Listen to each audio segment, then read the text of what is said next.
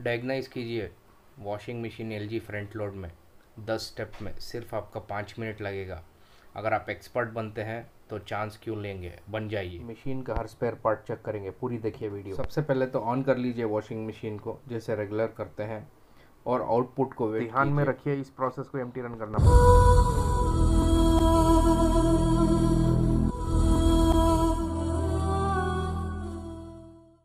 दोस्तों, हर model check कीजिए एलजी का। सेम प्रोसीजर ऑलमोस्ट आपको पूरा रन करके दिखाएँगे और पूरा स्पेयर पार्ट के बारे में जानकारी देंगे। तो सबसे पहले ऑन कर लीजिए, इसे नॉर्मल करते हैं। और एक बार गौर कीजिए ऑन करते ही विद इन थ्री सेकेंड्स में टेम्परेचर और स्पिन को प्रेस करने से पूरा लाइट ऑन हो जाएगा। रिपीट ऑन करते ही टेम्परेचर और स्पिन को प्रेस करने से पूरा लाइट ऑन हो जाएगा। तो अभी प्रोसेस स्टार्ट हो गया गाइस सबसे पहले फ़र्स्ट प्रोसेस के लिए आप प्ले करेंगे तो फ़र्स्ट प्रोसेस ऑन होगा ड्रेन ऑन होगा और क्लॉकवाइज धीमी गति से मशीन घूमेगा। दूसरा चॉइस आप जैसे ही प्ले करेंगे तो आरपीएम ले लेगा। अगर पानी है तो वेट करना पड़ेगा। ज़ीरो से आपको एग्जैक्टली exactly चलेगा आरपीएम मशीन चलता ही रहेगा। 400 आरपीएम पे जाएगा, फिर भी चलता रहेगा। 500 पे जाएगा, फिर भी चलता रहेगा। 600 पे जाके रुक जाएगा। तो थर्ड टाइम आप प्ले करने के बाद आपको आरपीएम और आगे जाएगा।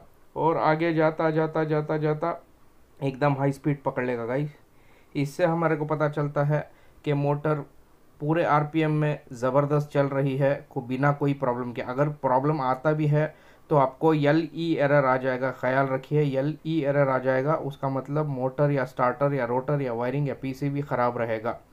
तो आपको ये हिंट मिल गया रहेगा, कैसे मोटर के आरपीएम इस टेस्ट मोड में चेक करेंगे गाइस एक बात का ध्यान रखिए, अगर आरपीएम नहीं चल रहा है तो ड्रेन मोटर भी फॉल्टी हो सकता है। पानी निकलने के बाद ही आरपीएम हाई में चलेगा। दोस्तों, आगे बढ़ते हैं।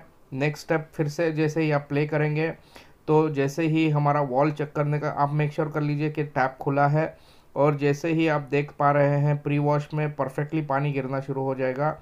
अगर प्री वॉश में पानी गिरा तो एक वॉल सही से चल रहा है।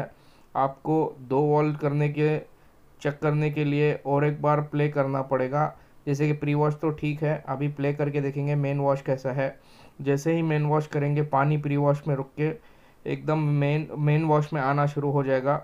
मेन वॉश में ख्याल रखिएगा इस अगर एक वॉल ख़राब है तो प्री वॉश में आएगा। अगर मेन वॉल में ख़राब है तो भी पानी आएगा। दो बार प्रेस करने से पानी आता ही रहेगा। एक बात ध्यान में रखिए 255 से आरपी टाइमिंग शुरू होके टू ट्वेंटी नाइन तक रेगुलरली पानी भरेगा। जैसे जैसे पानी भर रहा है, आपको दो चीज़ का ख्याल रखना पड़ेगा। अगर वॉल ख़राब है तो पानी नहीं भरेगा और कभी कभी आई एरर आता है और अगर पानी भरने के बाद भी टाइम लो नहीं हो रहा है तो उसका मतलब है प्रेशर सेंसर बराबर से काम नहीं कर रहा है।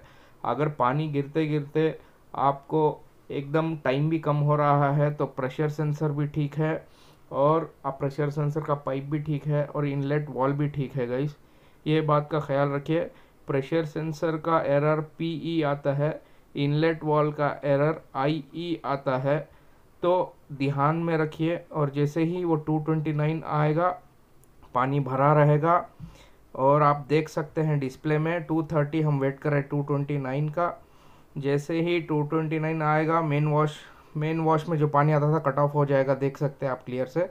और 229 में जाके मशीन रुक जाएगा तो उसका मतलब नेक्स्ट प्रोसीजर एंटी क्लॉकवाइज घूमेगा। जैसे कि मशीन में टम्बल वॉश रहता है और डायरेक्ट ड्राइव में टम्बल वॉश रहता है तो एंटी क्लॉकवाइज घूमने की वजह से वो मशीन एंटी क्लॉकवाइज भी ठीक है। तो जैसे ही नेक्स्ट स्टेप में बढ़ेंगे 28 आ जाएगा और जैसे ही आप प्रेस करेंगे, पानी निकलना शुरू हो जाएगा। 28 में आने से, आने के बाद वो जो प्रोसेस है वो प्रोसेस हीटर में जाके नेक्स्ट आप प्ले करेंगे तो पानी निकलना शुरू हो जाएगा ड्रेन प्रोसेस ऑन हो जाएगा। अगर ड्रेन प्रोसेस खराबी है तो ओ ई एरर आएगा।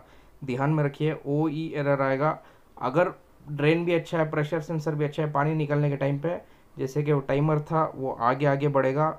जैसे कि 229 था तो 230 जैसे ही 255 तक जाके रुक जाएगा। एक बात का ध्यान इधर रखना है, पूरा साइकिल जितना भी स्पेयर पार्ट है आप सिर्फ़ और सिर्फ़ पाँच मिनट में चेक कर सकते हैं। जैसे कि आपने देखा टू ट्वेंटी फाइव आ गया और मैटर क्लोज पूरे पार्ट्स चेक हो गए। मशीन परफेक्टली फाइन है। तो नॉर्मली आप उसको बंद कर दीजिए इसी तरह हमारे को सपोर्ट करते रहिएगा। थैंक्स गाइस ये फॉरवर्ड कीजिए। अगर कुछ डाउट है तो कमेंट कीजिए। हम ज़रूर आपको आंसर देंगे। बहुत बहुत बहुत शुक्रिया। Thanks for watching